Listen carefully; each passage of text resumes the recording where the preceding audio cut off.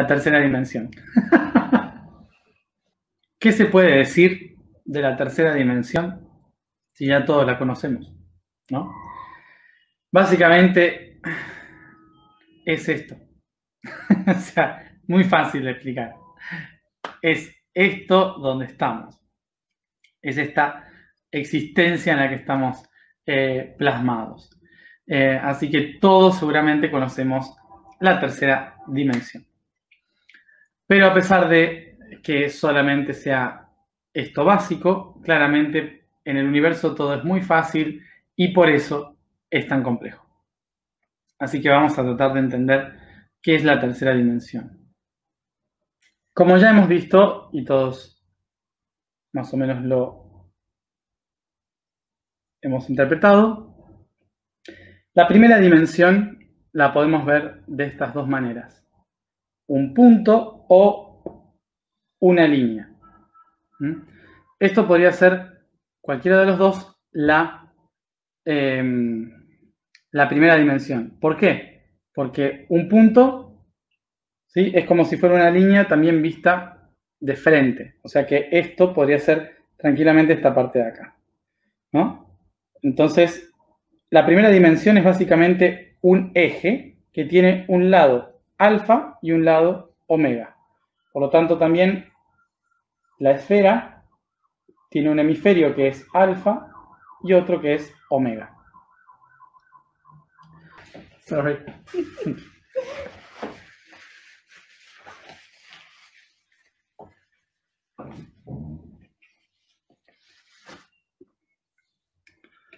Ok. Bueno, vamos entonces a si esta es la primera dimensión. Si esta es la primera dimensión, la segunda dimensión va a ser esto. ¿Mm? Vale, entonces, ¿qué era la segunda dimensión? Es la figura. Es la figura. El entramado de patrones que engloban un concepto. Entonces acá tenemos un cuadrado. Y este cuadrado es la base de todas las demás existencias después. Es el plano, la planificación, que es lo que hablamos ayer. Y luego tenemos la tercera dimensión. La tercera dimensión es la que vamos a ver de esta manera. Bueno, esto salió un poquito horrible. No, espera. ¿Mm? Tercera dimensión. O sea que la tercera dimensión, ¿qué va a ser? La profundidad. Entonces tenemos acá.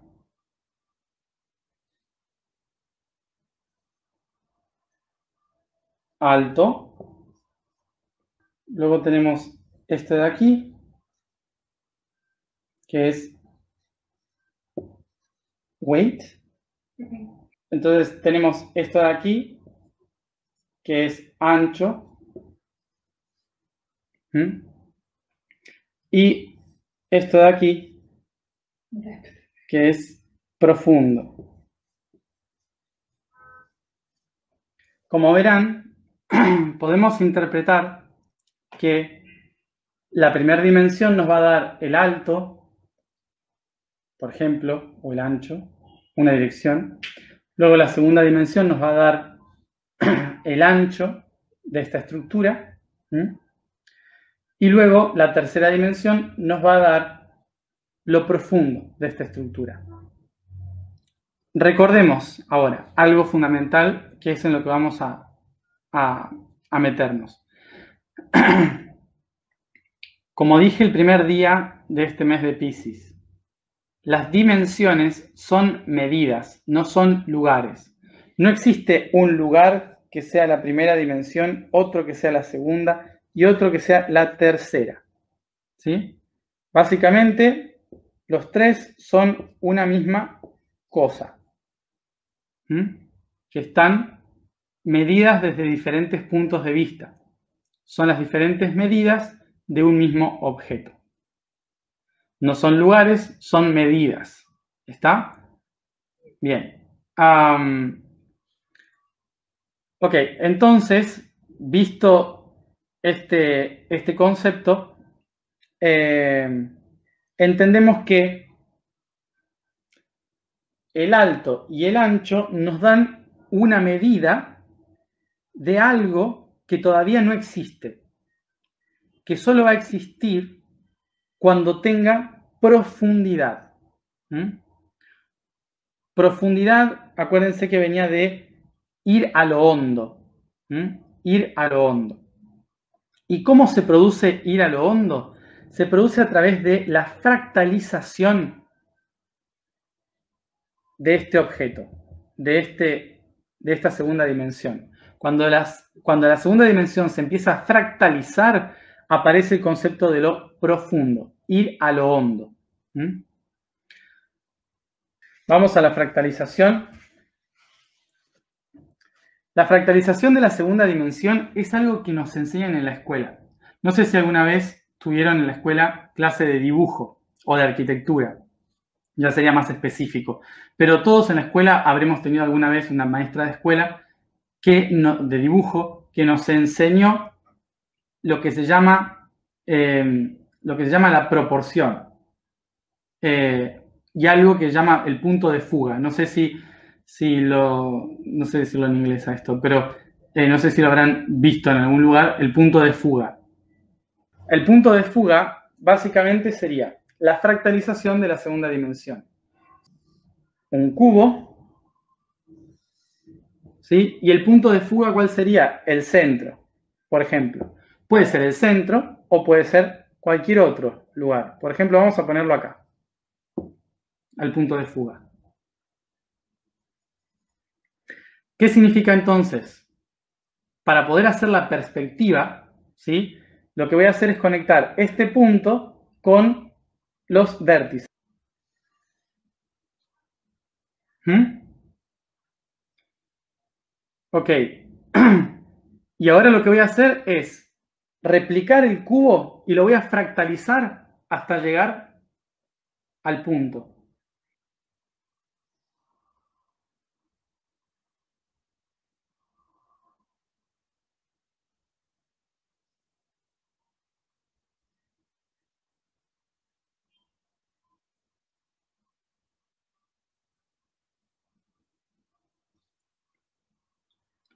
¿Qué imagen tenemos ahí?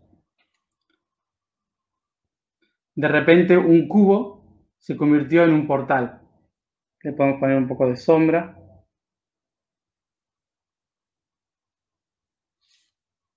O sea que lo único que hicimos con esto fue empezar a fractalizar la segunda dimensión. ¿Sí? Y obtuvimos esta estructura. O sea que primera dimensión y segunda dimensión se unieron para crear la tercera dimensión. Y así uno puede dibujar algo con profundidad. Entonces, desde este lugar, ah, lo único que sucedió es que un mismo patrón, a través de utilizar la fractalización áurea, Esto sería la fractalización áurea. ¿sí? A través de utilizar la fractalización áurea, un objeto logra volverse profundo.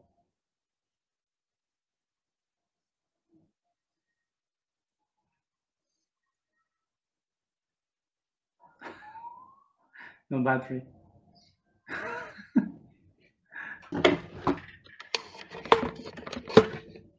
oh.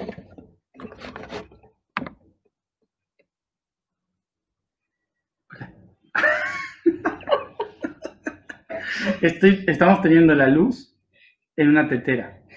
Por, eso hay que hacer equilibrio. bien, entonces, eh, aquí lo que tenemos, tomando también un punto, un punto de fuga,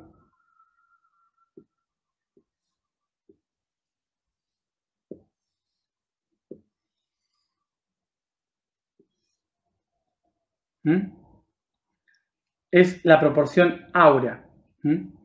Eh, ¿Y qué sería esto? Es la fractalización, ¿sí? Se va fractalizando. Si se fijan, tenemos acá eh, fractales de lo mismo. Bueno, ok,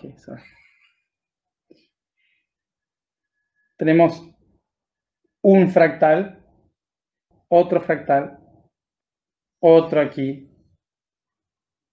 Esta, esta estructura de esta estructura espiral es otra forma en la que podemos empezar a ver, em, a, ver cómo el universo empieza a manifestarse a través de fractales, a través de fractales que se van manifestando en la tercera dimensión, con profundidad.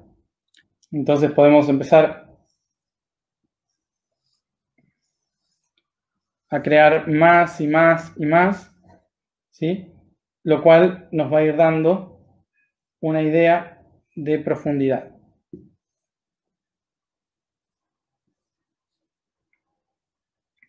Por fractalidad. Básicamente, lo que nos está diciendo acá esto es que todo lo que se constituye por manera fractal es una ilusión. Volvamos entonces al fractal más fácil de todos. ¿Mm? Tenemos un triángulo. Entonces, en primera dimensión tenemos un polo positivo y un polo negativo, que es esto de acá. En segunda dimensión tenemos otros polos, otro polo, creando un triángulo. Bien, ¿Qué es un fractal entonces? Para hacer un fractal vamos a poner un punto de fuga. Vamos a conectar los ejes y tenemos un tetraedro. Primera dimensión, segunda dimensión, tercera dimensión. Línea, triángulo, tetraedro. ¿Qué podemos hacer con esto? Agregar nuevos puntos de fuga.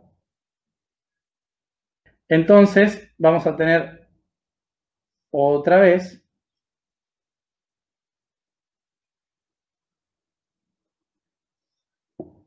la misma estructura.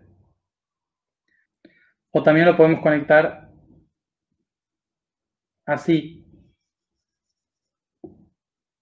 en dos dimensiones.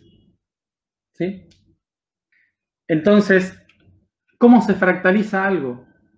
Lo podemos seguir fractalizando creando otro más. Otro más. Otro más. ¿Y qué pasó? Que volvió a formar un triángulo. Entonces, esto es un fractal, es decir, una fracción de este que es igual. Y lo mismo puedo seguir haciendo. Entonces tenemos que esto de acá es una fracción del total. ¿Mm? Es como cuando se dice dos tercios. ¿Qué conocen que es así?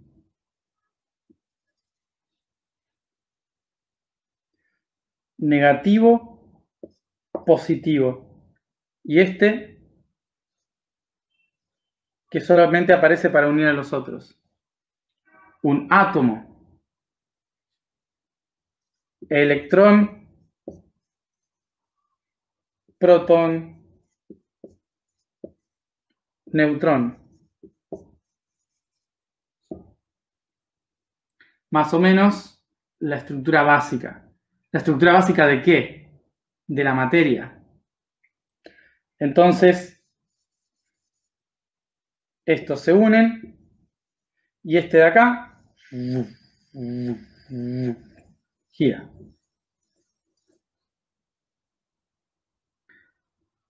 Entonces, más grande otra trinidad que tenemos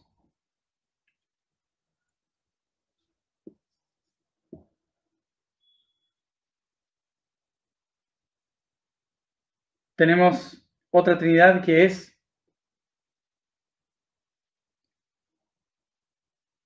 un oxígeno y dos hidrógeno, por ejemplo. O sea, agua. ¿Mm? Y y también tenemos del otro lado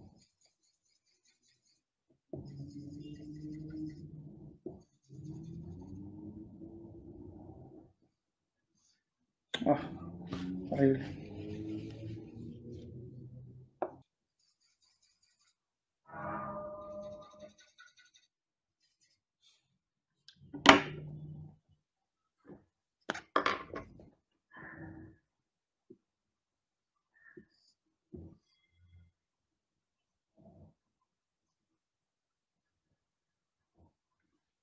Esta estructura de aquí, un tetraedro, que lo que va a formar es el carbono.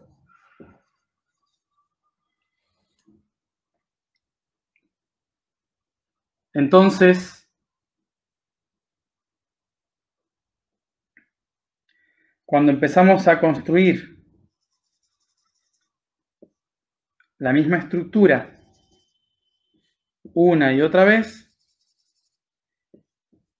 tenemos la base de la vida, que es el carbono. Y aquí el agua.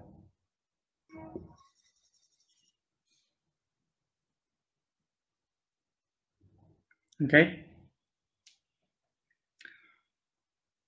Bueno, fíjense entonces que la base de la vida, de todos los minerales, de todas las cosas que existen, básicamente son cargas positivas y negativas que se unen para armar una figura y esa figura se fractaliza hasta crear profundidad. Por lo tanto, ¿qué es la materia?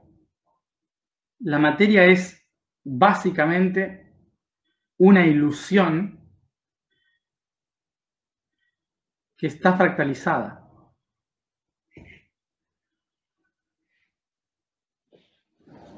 Es decir que, como hemos dicho muchas veces, ¿qué es la realidad? La realidad es un holograma. Somos un holograma de una ilusión fractalizada. Por lo tanto, la tercera dimensión es básicamente una distorsión constante de la segunda dimensión. ¿Y por qué existe esta tercera dimensión? Porque cuando la mente universal, la conciencia universal empieza a buscar cada vez más opciones de las figuras que crea en su mente, entonces empieza a fractalizarse y va más a lo profundo, a lo profundo, buscando otra figura, otra capa, otra capa, otra capa. Y esta profundidad hace que la mente pueda empezar a percibir la profundidad de la existencia. O sea que la tercera dimensión es el fruto, es la opción de la conciencia universal para poder para poder percibirse. La tercera dimensión es básicamente el lugar donde la mente juega, donde la mente practica, donde la mente aprende a sentir. Lo que nos pasa a nosotros con la tercera eh, dimensión eh, lo que nos pasa con la tercera dimensión es que solemos pensar que, como siempre digo, es algo separado. Y entonces decimos, el espíritu que está en quinta, sexta, séptima dimensión, desciende y viene a la tercera dimensión y se mete dentro de la tercera dimensión para vivir. Y no es así. Es como básicamente esto, el espíritu o el alma que se mete dentro de, eh, de, un cuerpo. Pero no es exactamente así. But it's not exactly like this.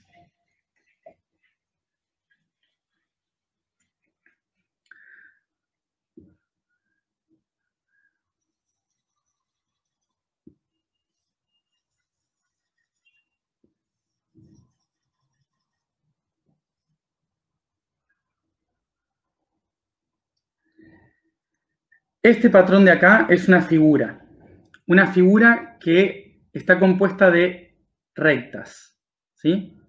Está compuesta de rectas. cuando yo le pongo profundidad, deja de ser una figura y pasa a ser un objeto. ¿Mm? O sea que antes era una figura ahora es un objeto. Objeto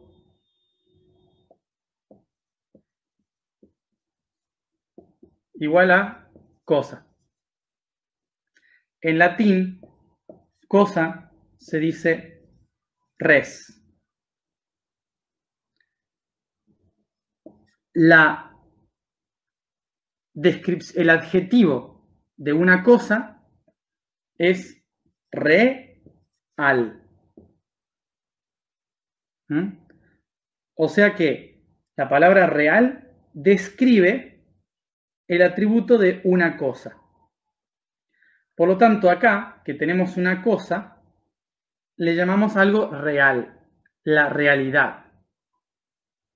¿Mm?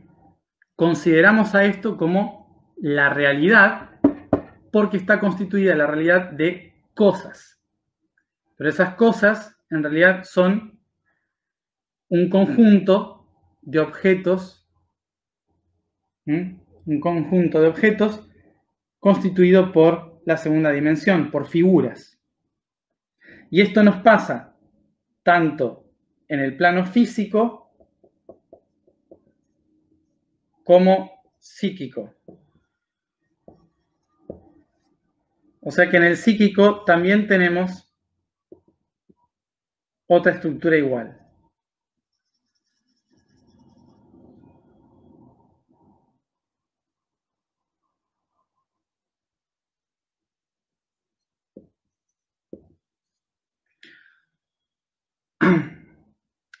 Por lo cual, consideramos que hay cosas que son reales y en el psíquico generamos conceptos que describen lo que es la realidad. Para mí la realidad es esto. Basada en la realidad en qué? En cosas, en conceptos que tengo sobre las cosas. O sea que el físico, el físico considera real aquello que puede percibir con sus sentidos. Y el psíquico es el que percibe como real aquello que considera por conceptos que ha obtenido al experimentar lo físico. Por esto mismo la realidad es subjetiva totalmente, porque la realidad solo puede ser descrita como, una, como un atributo de algo que percibo por mis sentidos y de algo que percibo por mis conceptos de los sentidos. Ok, podemos llegar a decir lo real es aquello que puedo ver y tocar. Y sin embargo, en realidad, Nunca tocaste ni viste nada. En realidad lo único que pasó es que tus ojos captaron la onda de, un, de los fotones y es interpretada por los pulsos eléctricos de tu cerebro. Igual que cuando quisiste tocar algo, nunca tocaste nada, porque en realidad son los electrones tratando de no colisionar entre sí. y la fuerza magnética hace que no se toque. Entonces, realmente, realmente, nunca tocaste ni viste nada. Por esto mismo podemos decir que desde lo físico y lo psíquico, la realidad en realidad es una ilusión.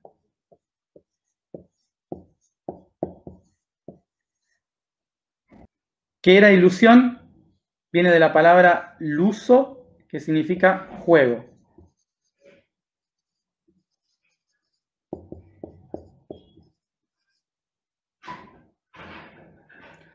O sea que volvemos al concepto de que la mente en realidad está jugando.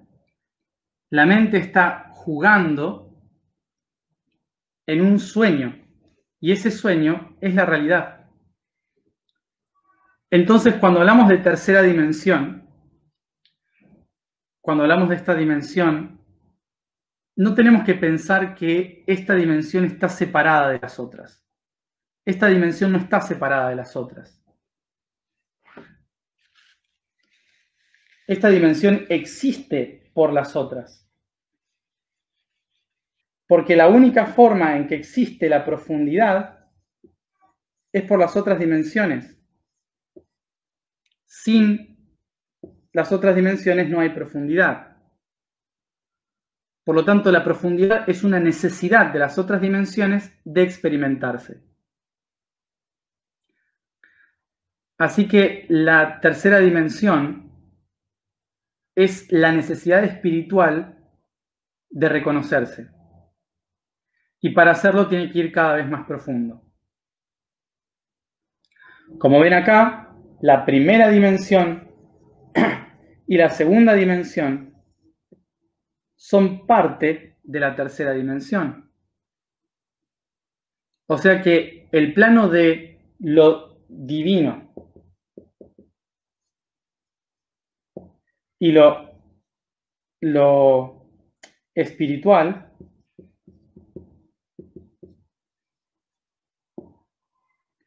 son partes íntegras de lo físico. Es decir, que para que lo divino y espiritual, imaginemos que lo divino y espiritual que está acá, se viva a sí mismo en físico, el ser debería ser lo siguiente. Se proyecta en su opuesto.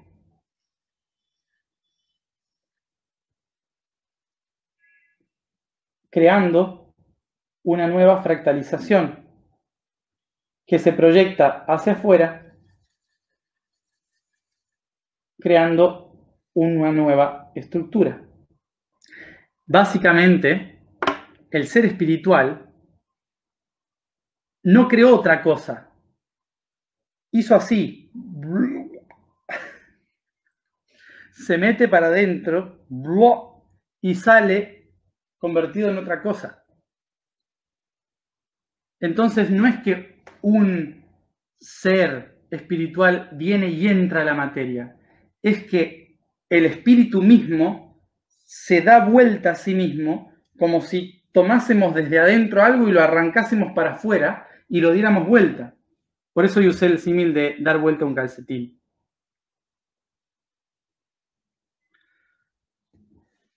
Do it practical.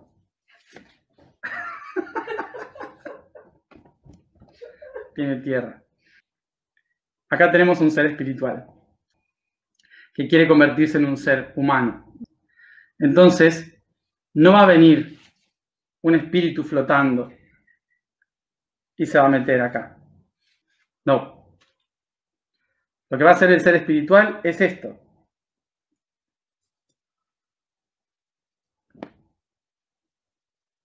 ¡Tará! Entonces aparece un humano. um, creo que ahora se entendió. ok, entonces la misma explicación va para lo siguiente. Nosotros solemos pensar, ¿qué lo puedo explicar? Vamos a hacerlo así.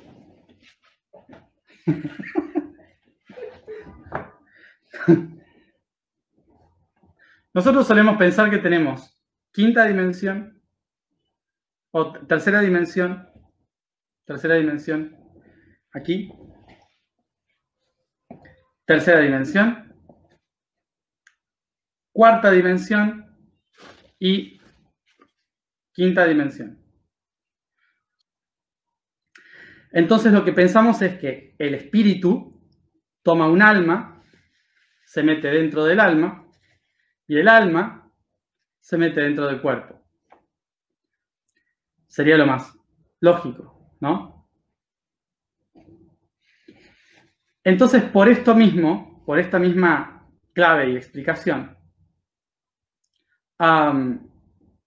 es que solemos pensar, em, es que solemos pensar que em,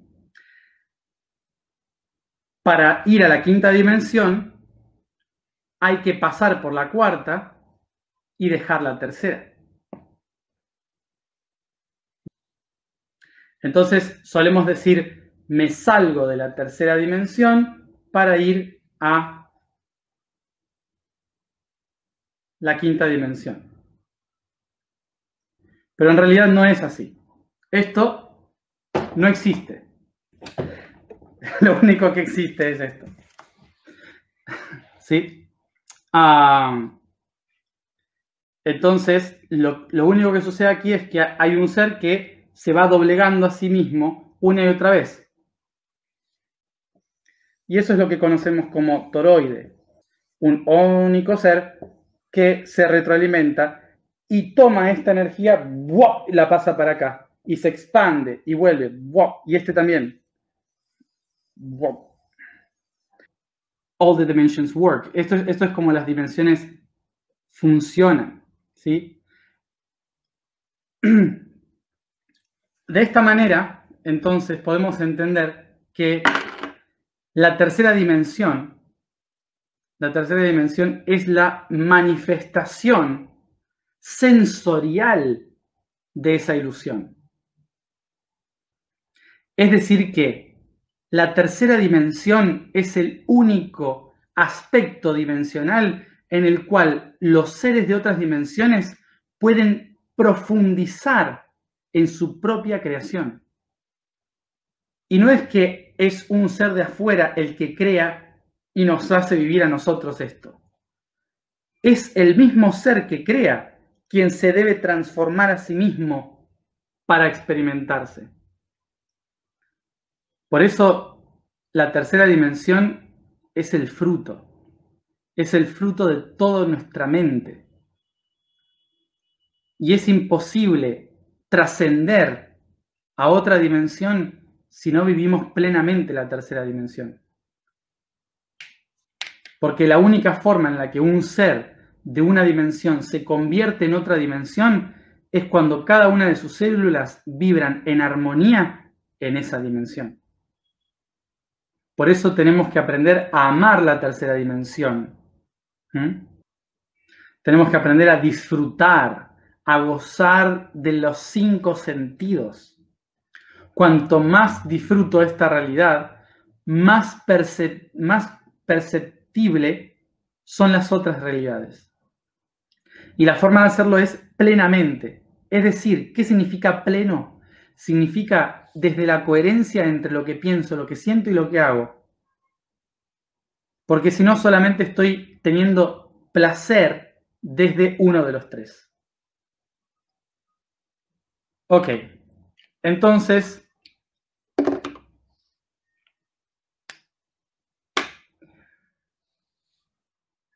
Desde este punto de vista, podemos entender qué es la tercera dimensión y por qué no tenemos que eh, que abandonar la tercera dimensión. Porque cuando pensamos en abandonar la tercera dimensión, estamos pensando todavía como los religiosos monoteístas, ¿sí? que consideran esto un castigo. Y al considerarlo un castigo, entonces lo sufren. Y entonces están todo el tiempo pensando en irse a una dimensión mejor. Y esto es lo que en los años 60 se tradujo como la quinta dimensión y la era de Acuario. ¿Mm? La era de Acuario no es ningún paraíso. La quinta dimensión no es ningún paraíso. Nadie nos viene a salvar de la quinta dimensión. ¿Sí? Por eso tenemos que aprender a vivir plena, plenamente en la dimensión que nos toca, que es esta. Porque la salvación no está en otra. Eso es un pensamiento religioso.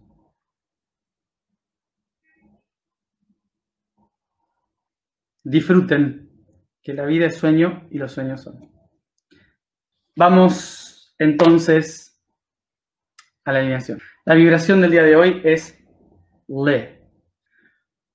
La afirmación es yo soy amor real. El código del día es nacer. Relacionado con la expresión del universo y la primera y la primavera en la Tierra, todos los seres vivos pasan por el proceso de los cuatro fundamentos universales que comienzan por la etapa de la vida que llamamos nacer. La misma comienza en el momento de la unión del espermatozoide y el óvulo y continúa hasta los siete años, cuando los chakras han sido formados correctamente en todo el sistema físico y psíquico.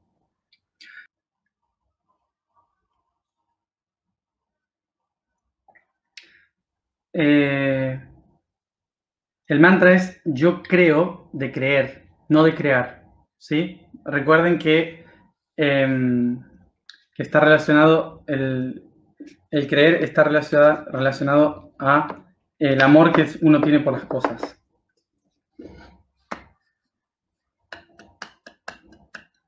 Nos sentamos cómodamente.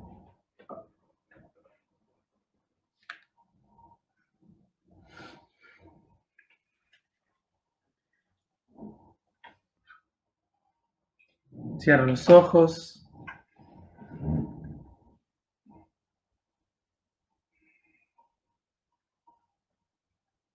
y me concentro en la respiración.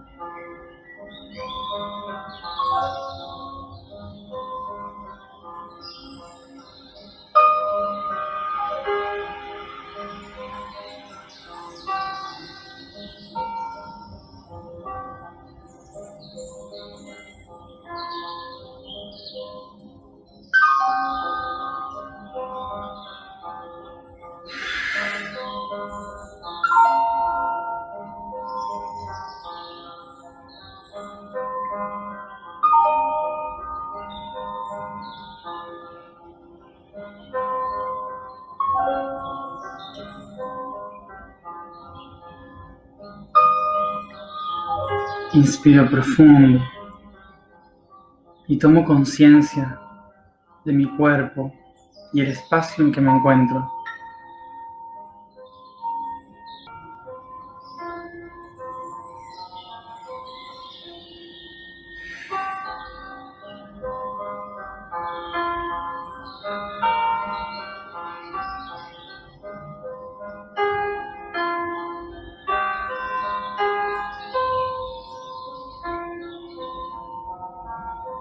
Inspiro profundo y comienzo a expandir con mi imaginación este espacio hacia el infinito, expandiendo sus paredes, el techo y el suelo en todas las direcciones, abriéndolo hacia el espacio infinito, al vacío universal.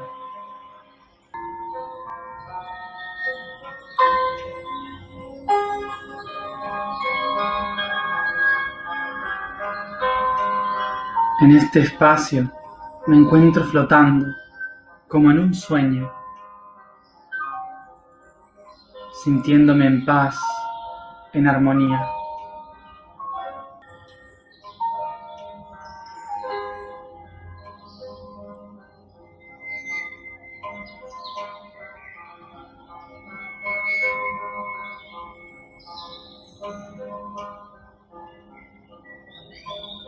Con mi imaginación comienzo a pensar en todas las cosas a las que estoy apegado en mi vida. No solo hoy, en el pasado también. Los objetos, juguetes,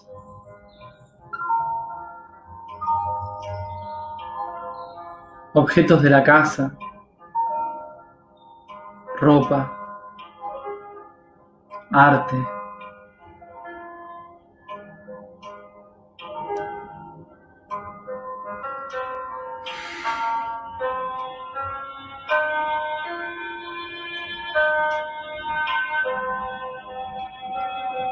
objetos electrónicos, libros, fotos, electronic devices, books, pictures. Comienzo a llenar el espacio a mi alrededor de todas estas cosas.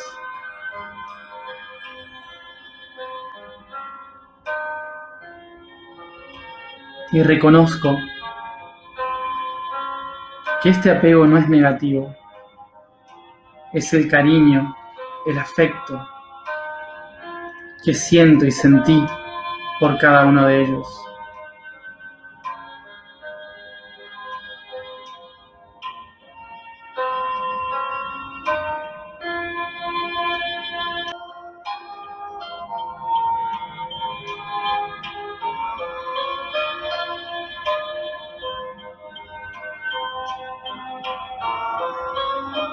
Imagino que coloco todos estos objetos que me producen amor,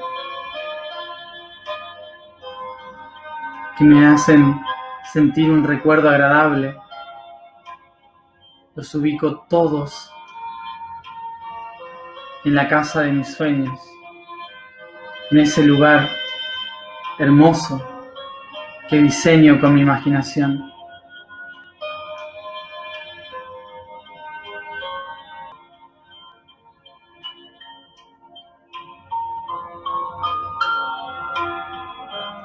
Y observo que todo el espacio vacío se convierte en este paraíso, en este hermoso sitio, el lugar de mis sueños.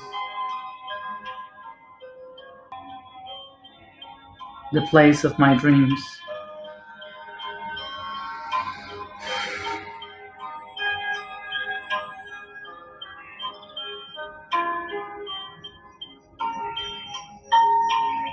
Con mi imaginación camino por toda la casa, tocando cada uno de los objetos, percibiéndoles, sintiendo sus olores, sus colores, su tacto.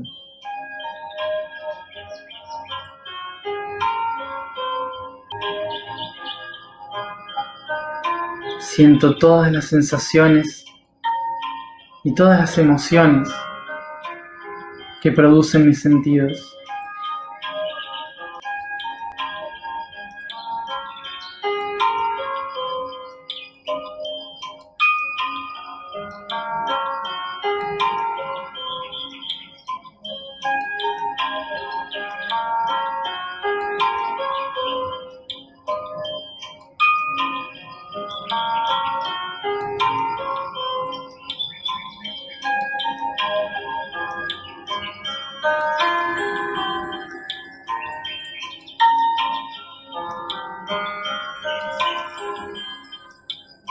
Tomo conciencia de que cada objeto, de que cada lugar, cada árbol, cada cosa que estoy observando, sintiendo, es todo ese amor incondicional convertido en materia, fragmentado en objetos limitados, pero aún así sigue siendo el amor.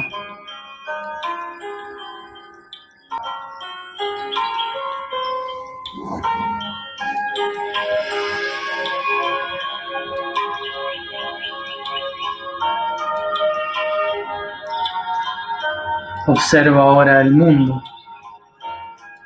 Me permito salir de la casa, contemplar todo el mundo, ciudades, personas, familia, amigos,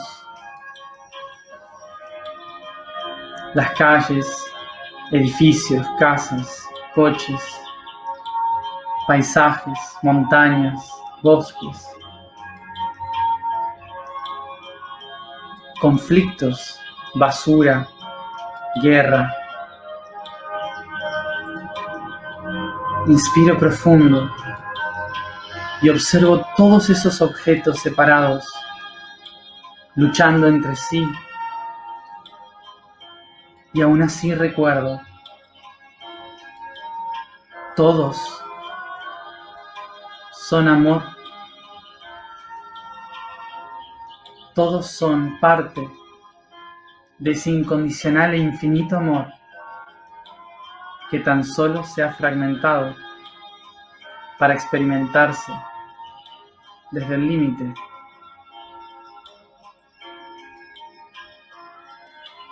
Contemplo y reconozco.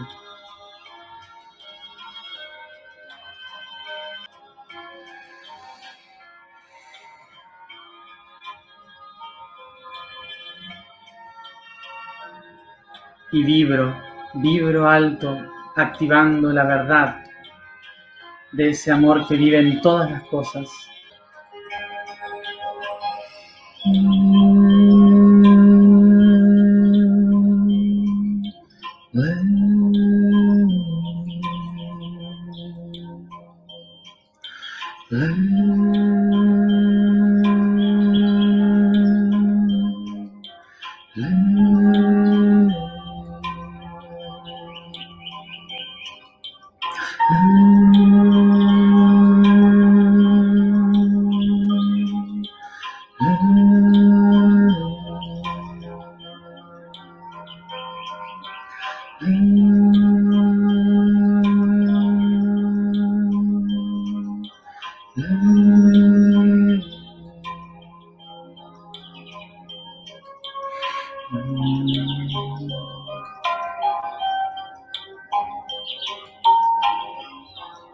Yo soy el amor real. I am the real love.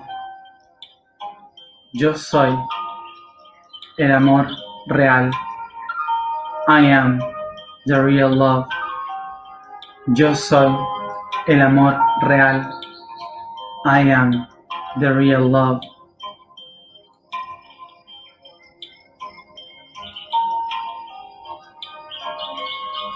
Y yo creo que puedo sentirlo en todas las cosas de este mundo.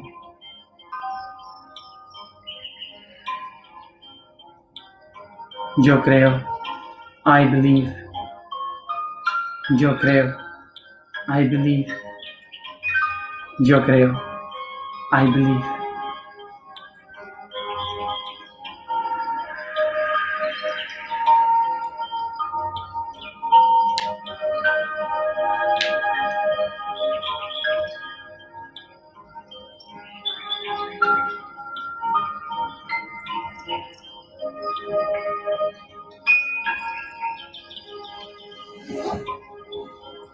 Pongo la intención de vivir plenamente esta tercera dimensión, de mirar ahora al mundo y a sus sombras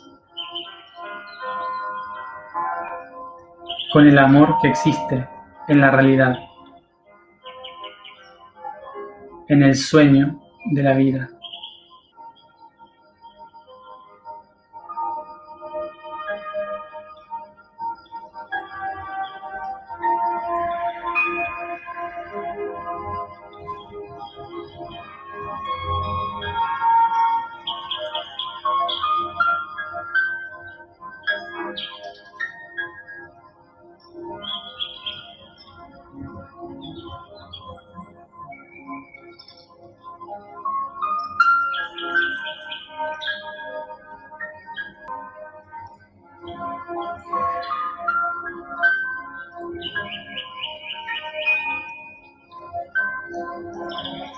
La vida es un sueño amoroso.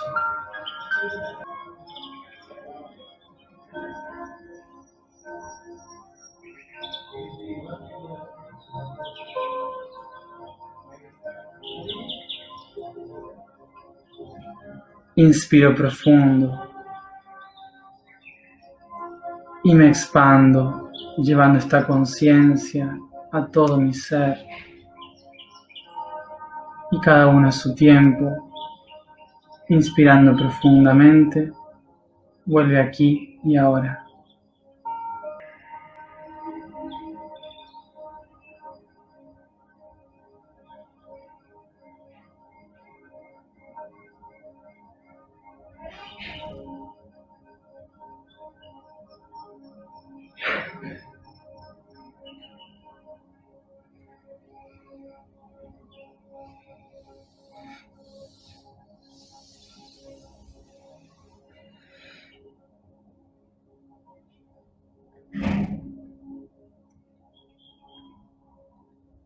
Gracias a todos por estar aquí como siempre.